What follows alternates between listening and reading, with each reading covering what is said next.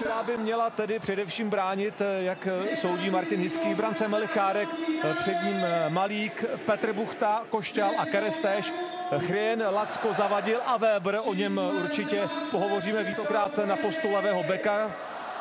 Fotbalista, který toho vystřídal v této sezóně už opravdu hodně a dále Matějovský Vácha Jiráček uprostřed na křídlech Fataj s Krejčím a na hrotu. Díváme se na momenty, které určily ráz prvního poločasu tady na Spartě. První velkou příležitost mělo Brno. Z ničeho nic se vymanilo z tlaku, míč propadnul až ke Škodovi, který hned, myslím, že to bylo asi ve třetí minutě, střílel těsně vedle Byčíkovi tyče. Pak to byla Sparta, která svírala svého soupeře a toto byla největší šance, kterou zazděl Jiráček. Pak ještě střílel Vácha a byly tam i další hodně nadějné příležitosti, ale tohle byla ta největší. Petr Jiráček střílel k levé tyči, ale Melichárek zasáhnul nohou a poté vychytal i Váchu. Pak přišel kontr, Kerestéš nahrál Řezníčkovi a Brno zlomilo po sedmi letech prokletí a dokázalo dát gól na Spartě a od té chvíle vede 1-0. Druhá... Jak říkáš, je to těžké, když nehrajete stabilně, tak naskakovat na pár minut není příjemné. No a teď se probil nakonec k přihrávce do 16. Lafata a je to 1-1. Trefuje se.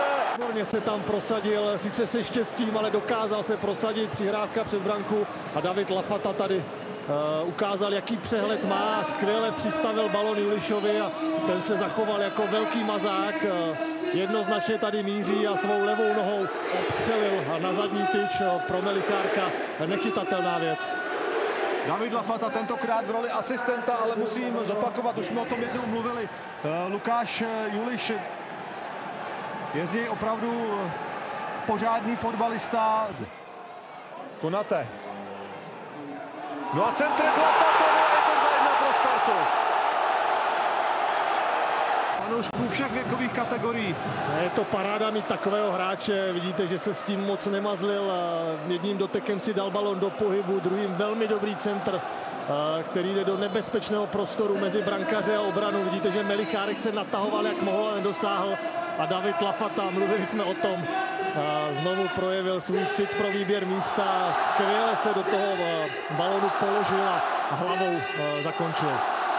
Pro Sparta hrála velmi trpělivě a na tom těžkém terénu ukázala psychickou odolnost. I když se ten zápas nevyvíjel úplně ideálně, prohrávala, tak dokázala otočit a